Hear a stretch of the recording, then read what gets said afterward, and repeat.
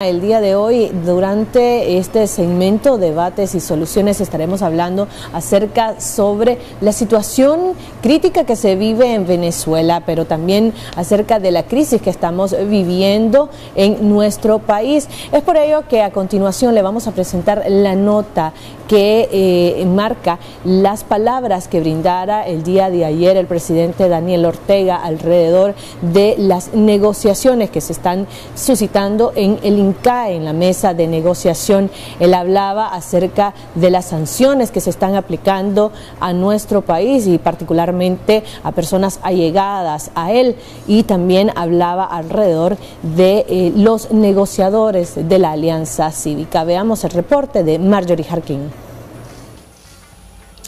A buscar incluso cómo conversar y buscar acuerdos con esas miserias humanas. Fue así que se refirió el presidente de la República, Daniel Ortega Saavedra, a los miembros de la Alianza Cívica en alusión a las sanciones que Estados Unidos ha aplicado a varios funcionarios de su gabinete, entre ellos a la vicepresidenta Rosario Murillo.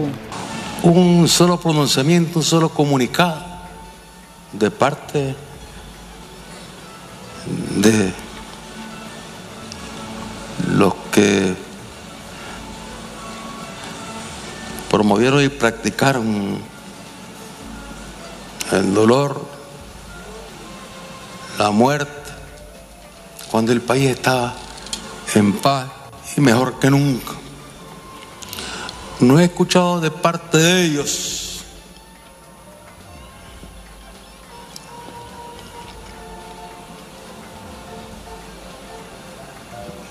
ni de parte de quienes coinciden con ellos en los diferentes campos económicos, mercantiles o espirituales. No he escuchado una sola, una sola palabra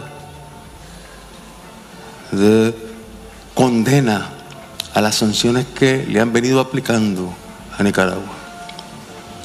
También destacó el levantamiento cívico-militar en horas de la madrugada de este martes contra el gobierno de Nicolás Maduro y sobre el intervencionismo de otros países.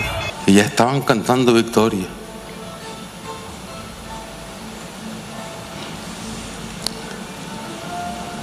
Un golpe más, un intento de golpe más, porque el golpe se produjo contra el comandante Chávez. Y luego vinieron intentos de golpe. Ahora, un intento más. Ese pueblo que lleva la fortaleza de Dios en el ejemplo de Bolívar, en el ejemplo de Chávez, logró derrotar el golpe, el pueblo bolivariano, el día de hoy. Este acto se llevó a cabo en las instalaciones del Centro de Convenciones Olof Palme, donde se celebró el séptimo aniversario de la muerte del comandante Tomás Borge y la conmemoración en el Día Internacional del Trabajador. Para Acción 10, Marjorie Harkin. Gracias, Marjorie. Ahí teníamos las impresiones del presidente Daniel Ortega alrededor de las negociaciones que se están dando en el ICAE y también acerca de la crisis eh, que ha iniciado, que se han registrado a partir de ayer en, Venezuela. Veíamos cómo el presidente designado, Juan Guaidó, hacía un llamado a toda la ciudadanía a eh, unirse a esta operación que han denominado libertad y también la respuesta que brindara la eh, otra parte en la eh, personalidad del presidente Nicolás Maduro acerca de esto y de cuál eh, podrían ser los escenarios que se vinculen eh, a nuestro país. Ya se encuentra con nosotros el doctor Francisco Aguirre Sacasa, ex canciller de Nicaragua, vía Skype, para analizar un poco acerca de esto que se está viviendo. Muy buenos días, doctor Francisco Aguirre Sacasa. Sus comentarios alrededor de esta iniciativa o de esta operación denominada Libertad por parte de la oposición oposición en Venezuela y lo que se podría esperar. Se sabe que este martes, este miércoles, perdón, estarán arreciando las protestas en las calles venezolanas y cómo esto podría afectar el futuro y la crisis en nuestro país.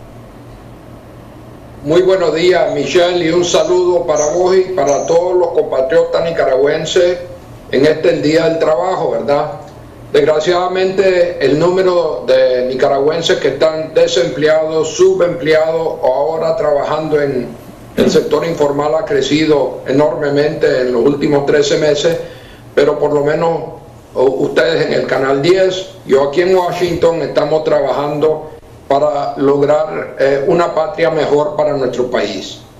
Ahora, en cuanto a la situación de Venezuela, yo creo que el día de ayer fue la culminación de todo un proceso que lleva ya meses, y no, por no decir años, eh, de tratar de restablecer una democracia representativa en Venezuela. Escuché la palabra del comandante Ortega, en donde le estaba condenando los golpes de Estado y además eh, eh, diciendo pues que, o, dando a insinuar pues que lo que estaba ocurriendo en Venezuela es un golpe de Estado.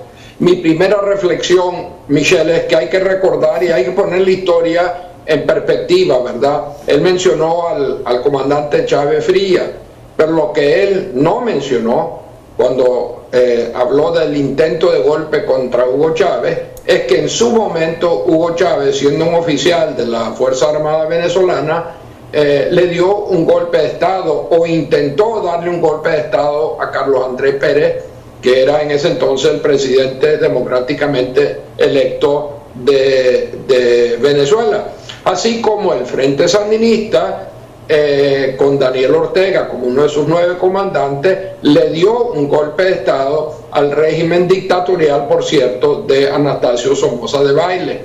O sea que es conveniente poner todas estas declaraciones de personas como Daniel Ortega en perspectiva. Ahora, Pasemos al tema de Venezuela.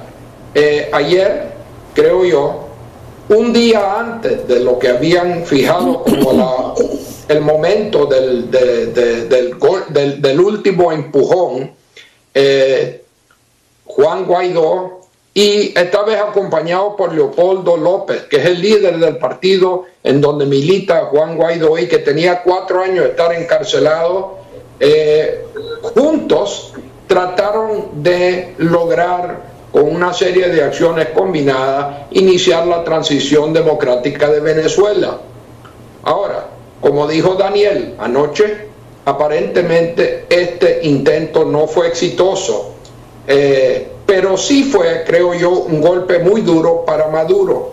Eh, recordemos que durante toda la jornada del día de ayer, Maduro fue eh, el gran ausente, el invisible. Y no fue hasta la noche de ayer que él se atrevió a dar una conferencia de prensa rodeado pues, de algunos de sus, eh, de sus eh, colaboradores más importantes. O sea que Maduro sobrevivió el round de ayer y la vía crucis venezolana continúa.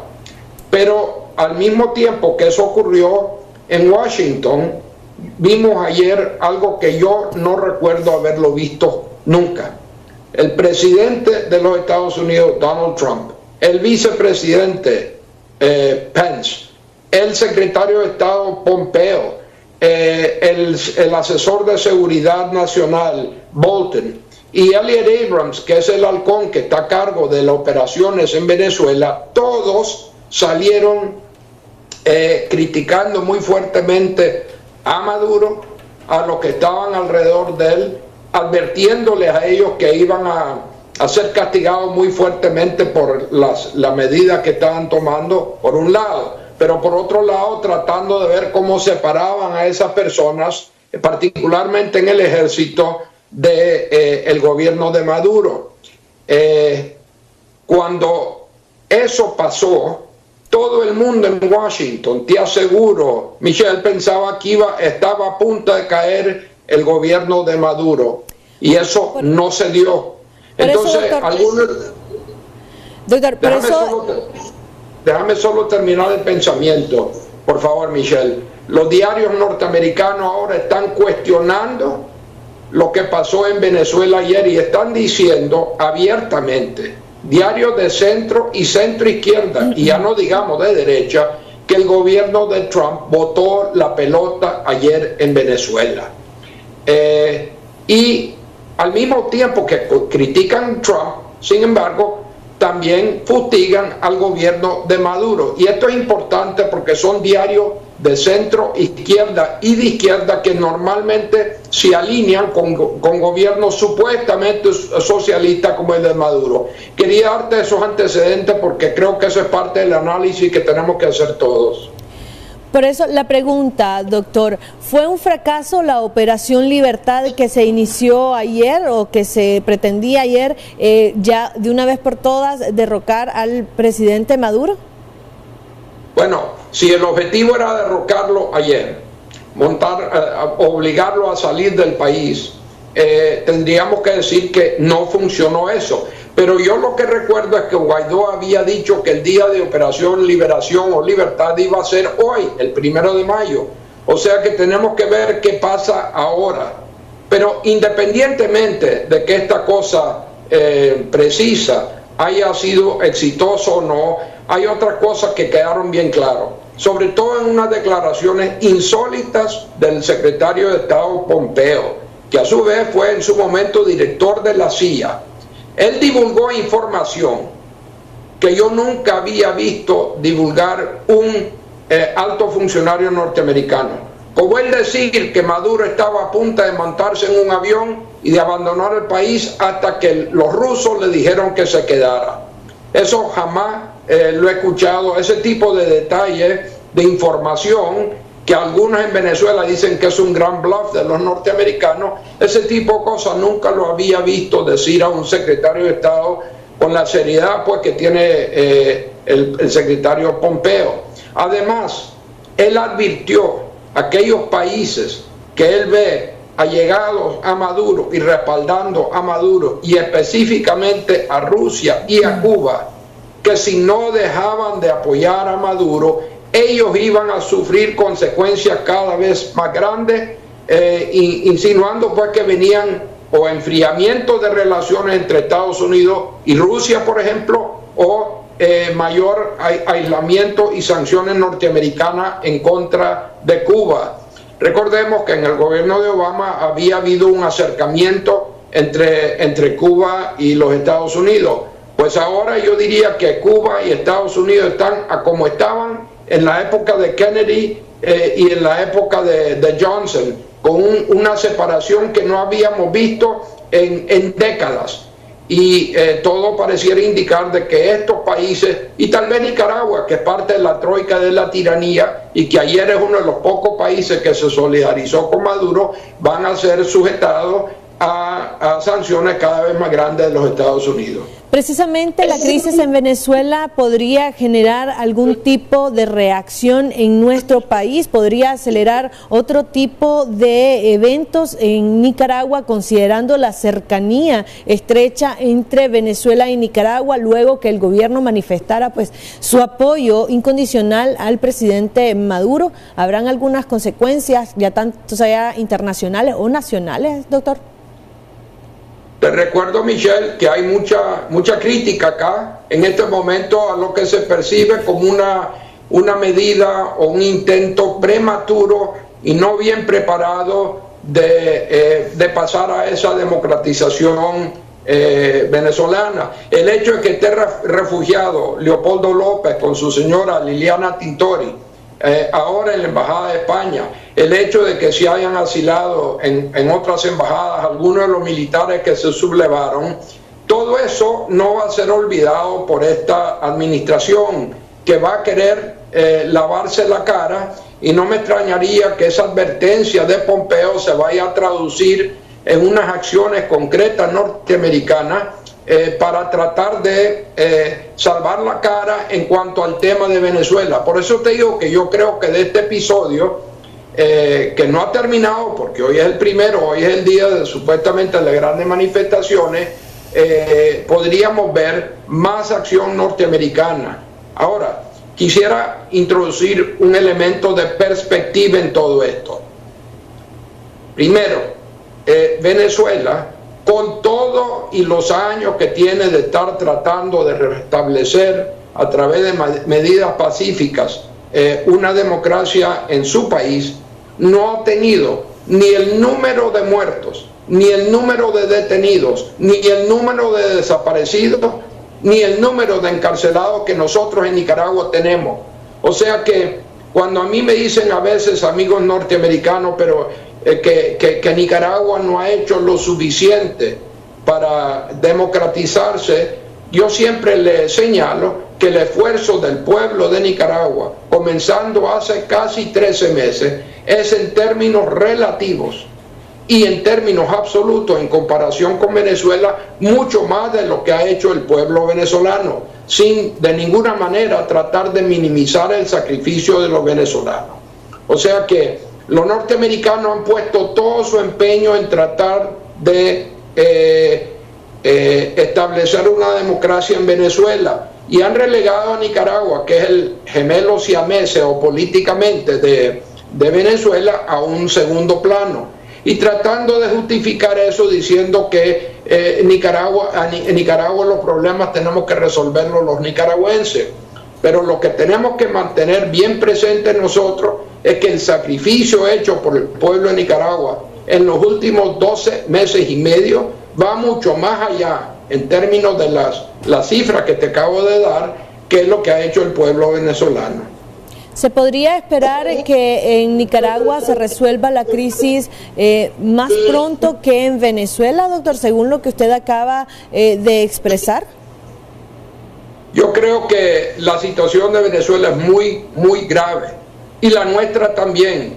Ahora, eh, yo pensaba inicialmente pues que Nicaragua iba a llegar a, home, para usar un término eh, beisbolístico, antes que Venezuela yo tengo clarísimas varias cosas. Si cae el gobierno de Maduro y si, eh, que es considerado por 50 o 60 países latinoamericanos y del mundo entero, prácticamente todos los países de las Américas, de Europa y hasta de Asia, eh, están, han reconocido al gobierno de Guaidó como el legítimo, eh, este gobierno de Maduro va a caer. Yo estoy convencido de eso.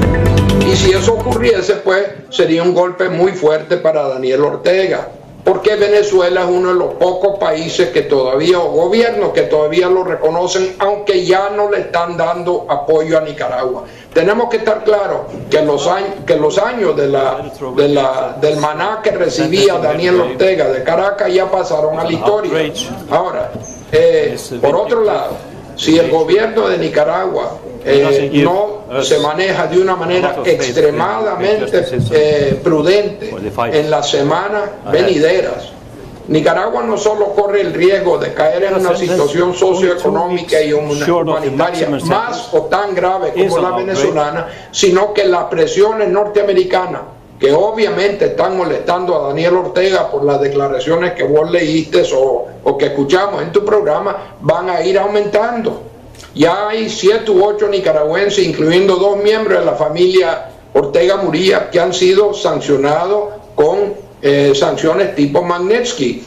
Y eh, ya sabemos, pues, lo que hemos hablado muchas veces, Michelle, que aquí no está entrando ayuda ni del Banco Mundial, ni del Fondo Monetario, ni del Banco Interamericano de Desarrollo eh, los europeos han reducido enormemente su ayuda y Taiwán, que el gobierno había dicho que le había dado 100 millones de dólares, no ha desembolsado nada.